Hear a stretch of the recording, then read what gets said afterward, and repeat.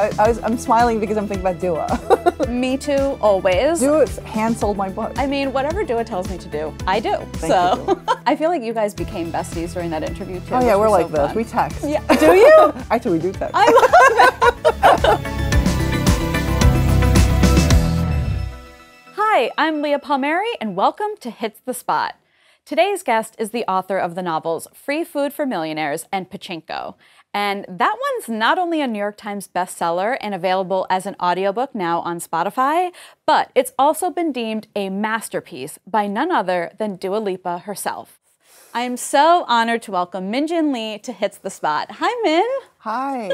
How are you? I'm good. I, I was, I'm smiling because I'm thinking about Dua. Me too, always. I have to tell you, when you were on her podcast at your service, I loved that interview so much. Oh, good. And that is what got me so excited to read Pachinko. So oh. it worked. so it worked. Hand sold my book. yes, yes. I mean, whatever Dua tells me to do, I do. Thank so you, I feel like you guys became besties during that interview too. oh yeah, we're like so this. fun. We text. Yeah. Do you? Actually, we do text. I love that Not so every much. day. I don't want to become Yeah. a stalker, but she's she's pretty cool. Yeah, she's very cool. Um, I can't possibly compete with her, but we are so glad to have you here on Hits the Spot today. So thank you so much for joining us.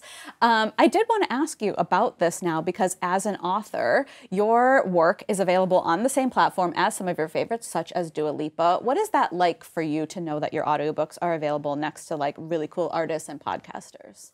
Well, it's kind of surreal. Yeah. because you're thinking, oh yes, Beyonce and Dua and me, a 54 year old middle aged lady who A teaches college. trio, But you know. I'm, I'm grateful. I'm really grateful. Yeah. There is some overlap between those two. We're going to get to it in a little bit. So some people are listening to all of those. I'm those things. routinely confused for Dua Lipa. yeah, I mean, makes sense. Makes Right, right. two awesome ladies. We have much to discuss, of course. Um, but I do want to ask you about the audiobooks from your perspective as an author. Um, now, you're known for really doing your research, getting your writing right. During that process, are you also thinking about the audiobook at all, or does that come way later when the when the book is done? well, for my the one that I'm working on right now, I mm-hmm. am actually thinking about the audiobook. But for the first two, the first one came out in 2007 when we had things called compact discs. Yes. For the young people out there, they're round, they're very shiny, mm-hmm. and they're about maybe eight discs for that one. oh wow. Okay. And also because I didn't have any power as a writer, mm-hmm. I was not involved whatsoever. Mm. But it was really exciting to think that a voice would be attached to your book. Yeah. Had you ever heard somebody read your work before like that? Like, had anyone ever read your work out loud to you? No, mm. no, it was, it's, I had such a deprived childhood. no, I actually don't. this is when I start crying. great, great. Record time. Yeah. Record time. Um, and how about the people that experience your work as an audiobook rather than as like visual text? Do you get different feedback from those types of people? Oh, totally. Oh. Because I think audiobooks are so intimate. they are. right? Mm-hmm. And also, you spend time with that voice for, let's say, 17 to 20 hours. Mm-hmm. So then I think people feel very attached to the storytelling.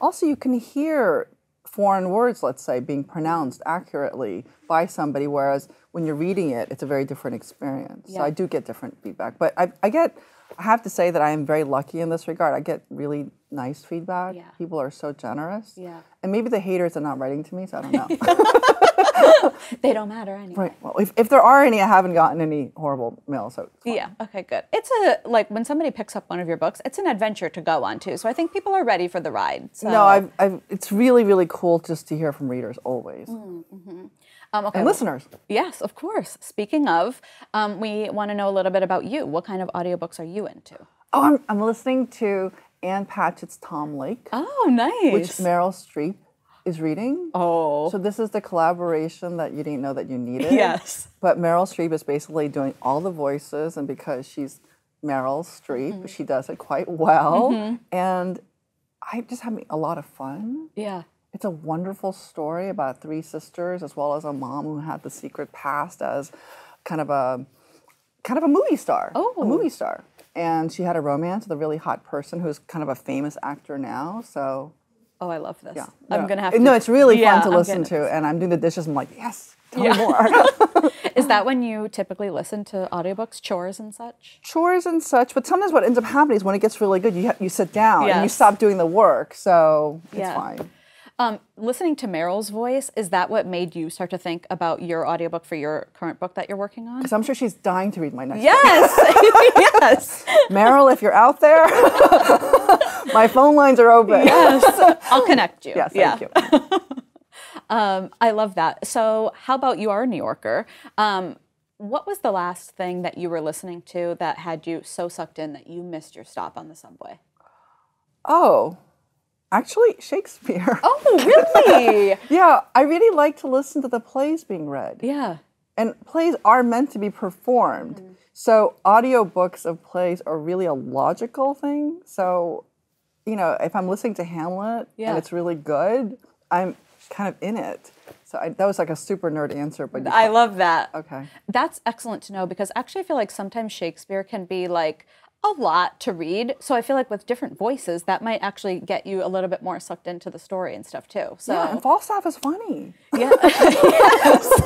yes. Oh, great. How about podcasts? What What do you like for podcasts? Oh, so I have my informed person podcast. Yes. Like Pivot, Daily, The Yep. Journal, mm-hmm. and those are really great. But then in terms of the creativity, like when I get a little down, I listen to Talk Easy with Sam Fragoso. Okay, great. really good. I also, whenever I have legal questions, I, I listen to Preet. Oh, okay, great. He's really good. I like Design Matters. I like the creativity stuff Mm-hmm. too. And then I'll even listen to like Huberman Yes. and uh, what is it, Modern Wisdom. Great. Like, I want to know like what what are men thinking about being superhuman? Yes. So- um, okay, I want to talk a little bit more about some of the way that you work. So you do a ton of research, and you do then you do your writing. Um, what are you listening to during both of those phases? well, it's interesting about Spotify because I Spotify is so good at global music. So when I'm thinking about a 70s character or a 90s character from Korea or Japan or in China, I can literally figure out what his playlist is. Mm. And only on Spotify can I find it. Wow. So it's not just like inspirational for me to listen to. I actually need to know what a person is listening to because I think, well, he's that kind of person. So one of my characters, my current book, is a punk musician, but he's sort of a failure. Mm-hmm. So I wanted to know like what he would listen to. And punk music is really interesting because every single area where there is punk music, there's a different sound. Mm-hmm. If you actually interview punk people, as I have, Yeah. they get really territorial. They're like, oh no, that's not really punk. Like Minneapolis sound is really different than Miami sound versus LA punk music or New York. I mean, forget it. Like if you get a New York person and a Minneapolis person together at punk music, there might be like a fight. Yeah. So it's all part of your research. right, though, it's all so- part of my research. I'm just like, I'm just the crane person asking. Yeah. Don't hit me. do you make character playlists? oh, I do. Yeah, Wow. I do. Wow. Oh, that's so fascinating. Especially because sometimes I wouldn't necessarily listen to it, but my characters would. yes. Because my books have so many people in them. And I think what you listen to is kind of who you are. Yes. And a lot of times people won't even tell you what they listen to mm-hmm. because they feel really judged, mm-hmm. which I think is funny. I'm like, so if you listen, if you really love Taylor Swift, you should just be proud to be a Yes. Swiftie because she's a genius. to know. Speaking of, of people that listen to your audiobooks on Spotify, their number one artist is Taylor Swift, that they also listen to for music. So there's that. Oh. Yes. at that. Uh-huh. Okay, you, Yes. you got a lot of zingers Yeah, I do. We've got all the facts for you, Min. Wow. Um, there's also a lot of K-pop represented on there too, with Excellent. NewJeans and BTS. Yeah. So um, there's I've some, sat behind BTS. where? uh, at the Metropolitan Museum of Art. I was invited to a thing, and all of them sat right in front of me, and I was like, I didn't know where they're going to put me. Like, Yeah. They could have put me next to the bathroom. I don't know, but they put me right behind them. Yeah. So I sat behind them, and I was so proud Yes. of their comportment. They Mm. have incredible posture, and parts of the program were kind of boring. Yeah. They were so attentive, and just like uh, these are young guys. Yeah. I have a son who's 25. Yeah. About And the same as them. about the same Yeah. age, and I thought, oh, I, I don't know, maybe he might have been slouching or looking at his phone. They had none of that. Just kind of like this. Wow. I know, and I was like, I can't tell if I'm more impressed with that or the fact that we've used the word comportment on this show now. So I think both are pretty great achievements. No, I, I'm trying to be value add, Leah. Doing my best here. Uh, do you have a favorite BTS song? Um, I guess I like Dynamite. Yeah, I was, that's my favorite I too. like Yeah, Dynamite. that's my it's very cheerful, and I think they really meant it to be something that was very positive. Yeah, nice. Um, well, speaking of songs too, we are entering Wrapped season. So, Mm. is there anything that you can anticipate will be on your Wrapped this year? Oh, One Foot in Front of the Other by Griff. Okay, great. I That's know. a good one. It's good, right? Yeah, that's a good one. oh, and I, you know, I love Eric Nam's new album. Yes, I love it. We love Eric Nam too. Yeah. Right? He's Yes. really good. Yeah. Uh huh. And I like the song Exist, so I I made a reel. Grandma made a reel. Wow! Congrats. I put Exist on it. Um, we are going to get a little bit more of some of your taste in music too. But um, speaking of being a young person, one of the things that I wanted to ask you about is your Instagram bio says late bloomer. Mm. I love this. I love this. How come you consider yourself a late bloomer? Because I also feel that I am in that crowd. You are so young. and it's not easy to be young. Yeah, it's hard. It's actually really hard. Like, I. Would never be 20 again. Yep. Like there isn't enough money Yeah. for me to be 20 something again. Mm-hmm. Oh my God, that was painful. I start crying. No. um, I think I'm a late bloomer because everything takes me a really long time. Mm. And I published my first book when I was 38. Oh wow. Okay. Right. And now Pachinko came out in 2017. Mm. It is really successful now. Mm. So I feel like everything for me is not instantaneous. Right.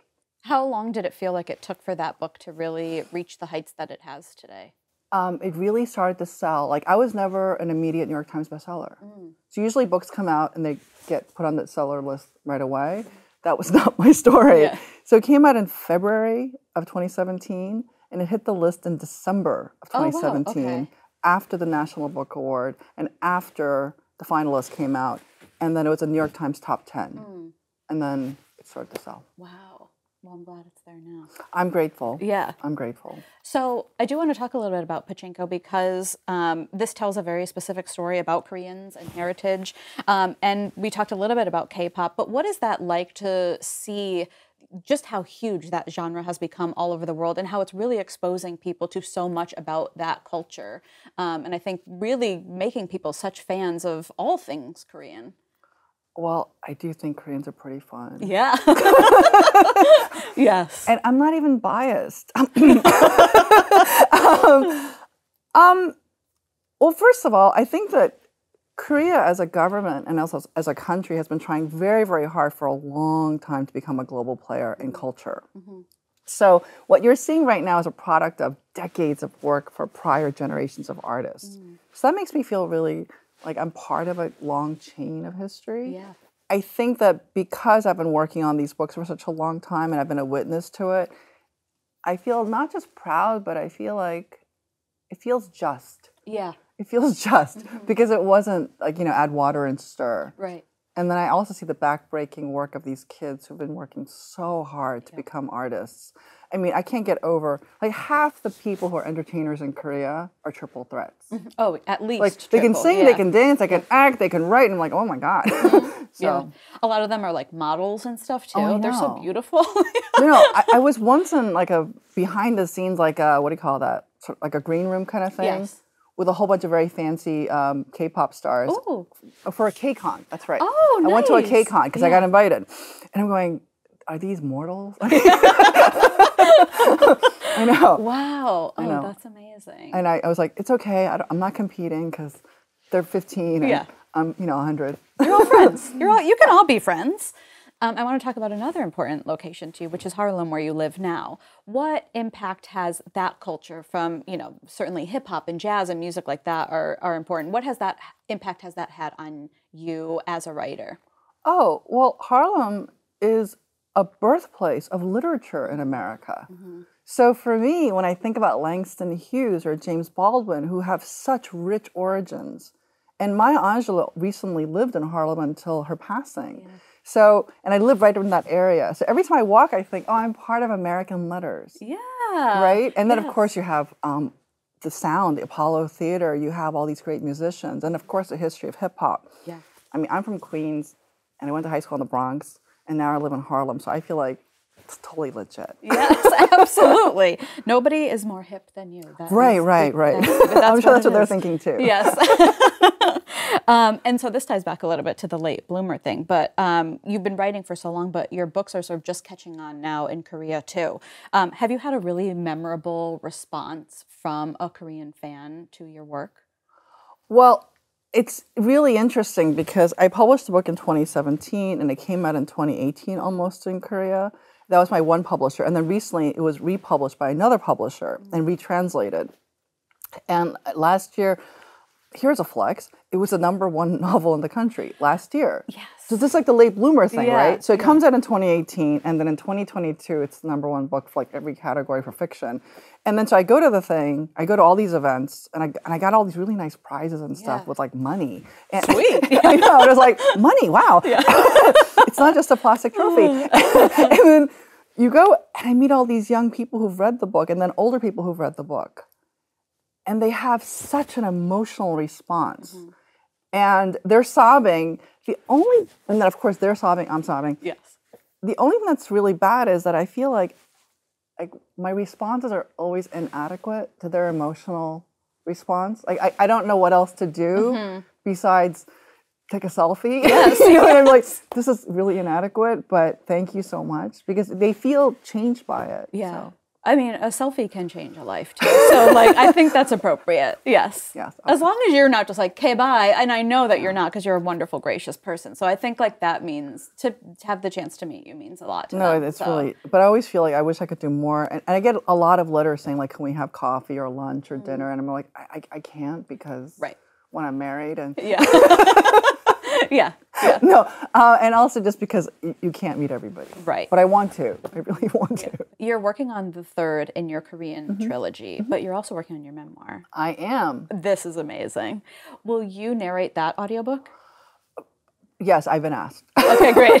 I mean, Have unless Meryl calls me, Yes. we can arm wrestle. you can take turns. Yeah, yeah. I'll take the odd number, she'll take the even. Perfect. I would listen to that hmm. just so you know. Me So, too. Yeah. um, how has that process been for you with the memoir? I mean, that must be different than a novel. it's so different and so weird mm-hmm. because first of all it's called name recognition mm-hmm. and one of the things i'm trying to write about is what does it mean to be a visible person when you didn't grow up feeling visible or even wanting to be visible so and i think this is the experience of so many people who are introverts Yes. kind of like ah, are you looking at me Yeah, yeah. what do i do Um, okay, I want to get um, into your musical taste a little bit more. Sure. So I'm going to give you an era of your life, and you tell me the song that like pops into your mind. Oh, okay. okay. Yeah, you got this. Because you have lived many lives. I feel like I- you've I- done I- so I'm many continuing. cool things. Yes, yes. Um, and so I want to get a little bit more into what you have listened to over the years. So um, the first song that comes to mind when you were a teenager. oh madonna Okay. I went to the Like a Virgin tour. wow. And I know my friend Billy Steinberg wrote that song. Wow. So talk about weird. Yeah. Billy Steinberg read my novel Pachinko and contacted me on Instagram. great. And he goes, I'm a songwriter. You might have heard of my work. And I'm going, mm. and I Google him, like, oh no, I, actually, I know all your songs. Yeah. and then so we're friends now. But I actually went to Like a Virgin. So isn't that strange? That's amazing. and I love Billy Steinberg. Yes. Ah, wow. Love this. Um, the song that comes to mind when you were a corporate lawyer. Oh, I think Till Tuesday. Okay. because it was sort of related to my college and law school Mm-hmm. years. And Aimee Mann is, you know, a goddess. Yes, absolutely. Um, the song that comes to mind when you wrote Free Food for Millionaires. Oh, I think, I think Peter Gabriel. Isn't that odd? Peter Gabriel, Indigo Girls, again till Tuesday. Yeah. I think that kind of mindset. I was really interested in the '90s Mm-hmm. and, and, and late '80s. Yeah. I also like New Order, Yes, absolutely. Yes. and I think New Order is actually a Korean band. Oh, I don't know if they know that, but great. They'll find out today. Yeah. By the way, New Order, you're Yeah. Korean. Yeah. well, like Yaz. Yaz is actually Korean. They don't know that either. Okay, but great. they are. Yeah. Well, I don't know. Um, how about when you were writing Pachinko? Oh, Pachinko. Gosh, that's harder. That's harder because I was listening to so much um, music from around the world. But I think I got depressed a lot. It was really sad stuff. Yeah. And I actually listened to a lot of gospel. Oh, okay. So people like Mahalia Jackson, yeah. and I, I listened to CeCe Winans, Ooh. and that was really helpful for me because it doesn't sound like anything related to Korea or Japan. Yeah. But I was trying to understand what missionaries are thinking when they're doing something really difficult. Mm-hmm. So I listened to a lot of gospel. That makes sense. CeCe Winans is incredible. Yes. Oh, absolutely. Um, how about the song that comes to mind when you're walking around New York? Oh, Jay Z, Yeah. uh, Alicia Keys, of Yeah. course, right, and of Mind, Beyonce. yeah. yeah. Um, the song that comes to mind when you think of your family. My family. Oh my gosh, this is really hard. well, I listened to a lot of classical music because my mother was a piano teacher. Oh, yeah. So I recently heard um, Lim Yunchan. He's the youngest Korean to win the Van Cliburn. Wow. And I have his playlist on my Spotify. Excellent. So because my mother was a piano teacher, when I think of my family, really, I guess Yeah. I was lit- my brain wasn't modern, but it's really classical music. Nice. And last one is what's the song that comes to mind today? Today, I guess probably Dua. Yes. it's always Dua. it's always Dua. Yeah, it's always Dua. Um, incredible. Well, Min, it has been an absolute honor to have you here today. Oh. Thank you so much for joining us. Thank you, Um, if you haven't already, or if you have, you can listen to both Free Food for Millionaires and Pachinko on Spotify in audiobook format, and that sounds like a pretty good time to me. So, plus all the songs that we talked about today, we're going to put in our Hits the Spot playlist, so everyone will be able to listen to those as well. So, Oh, wow. yeah, yeah, it'll be fun. That was So- really time effective. yes, yes, absolutely. Um, Min, thank you so much, and we will look forward to all of the fun work that you still have to come. So, yay! There's more to do. Well, Oh, I've actually had a lot of fun today.